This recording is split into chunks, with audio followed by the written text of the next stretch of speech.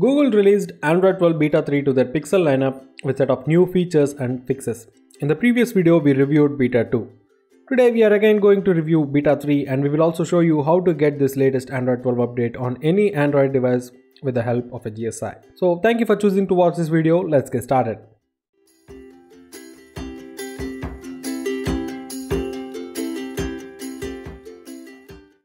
Perhaps the most exciting new feature added in the Beta 3 is scrolling screenshots. OEMs have their own scrolling screenshot implementation for years, but Google has been working on a platform level feature since the last year's Android 11 developer preview. Sadly, Google's version didn't make the cut for Android 11's final release. But this time, it is finally here in Android 12 Beta 3, and it is going to stay. When you capture a screenshot of a content that is scrollable, you will see a new Capture More button in the screenshot preview, and when you tap this button, Android extends the screenshot to show the whole screen for the user to crop. Icons in the settings menu are muted compared to the colored icons in the previous beta 2. If you ask me, this looks cooler than the previous implementation as this makes the icons more consistent so that they won't clash with whatever theme the theme engine generates from your wallpaper.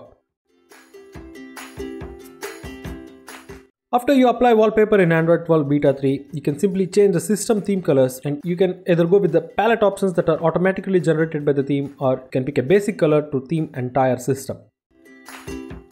In the Wallpaper and Styles app, there is a new themed icons toggle. This exposes the functionality that was hidden in Beta 2. When you enable this option, the icons for most of the Google apps will follow your system theme. Not only that, but when you turn on the dark theme, these icons will also respond to that. Starting in Android 12 Beta 3, new action has been spotted in the recent apps overview. When you focus on a task that contains a URL or a link, such as a browser, Android displays a link icon that when we tap, it lets us to copy or share that link. If you have accidentally invoked the Google Assistant by swiping up from the corner of your phone, then you will be glad to know that Android 12 Beta 3 introduces a toggle to disable this gesture.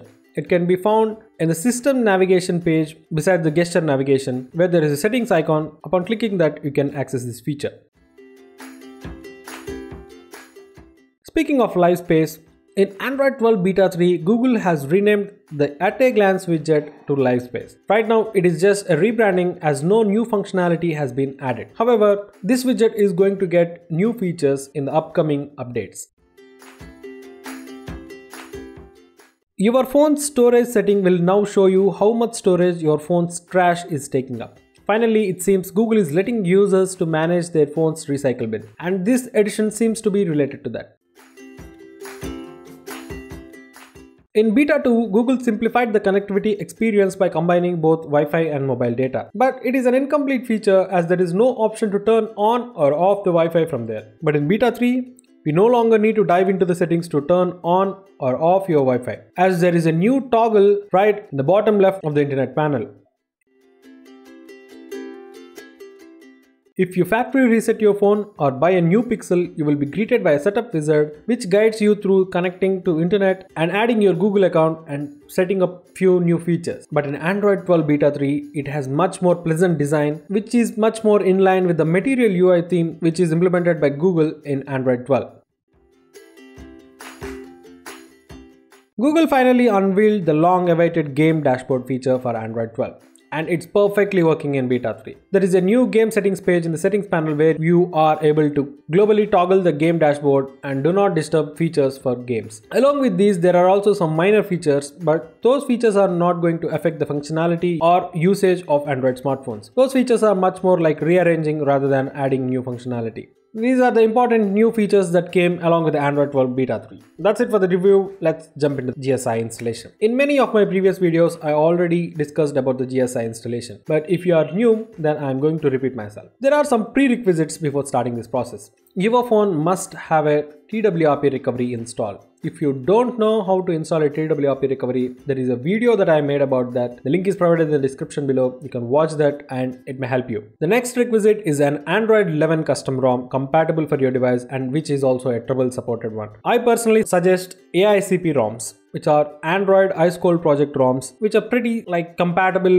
with this GSI kind of stuff. And next is an Android 12 Beta 3 GSI. You can download this GSI from the link I provided in the description below. It is a zip file, you have to extract that. There is a system.img file inside that zip. So now let's jump into the process. After all these requisites are met, then simply reboot your device into recovery mode. After entering into TWRP recovery, click wipe. After that, select advanced wipe and select Dalvik system, data, cache and internal, internal storage. Swipe to wipe. Wipe everything and now simply reboot into recovery again. After reboot into recovery, copy the Android 11 custom ROM and the system.img file that you already downloaded into your phone's internal storage. After that, click install, select the Android 11 custom ROM and swipe to flash. After flashing gets completed, reboot into recovery again.